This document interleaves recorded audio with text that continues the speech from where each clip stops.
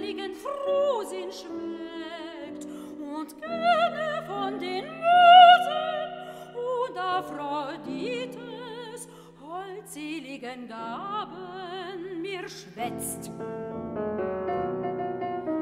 Nicht nach der Tragerin neigt sich verlangend mein Herz. Detze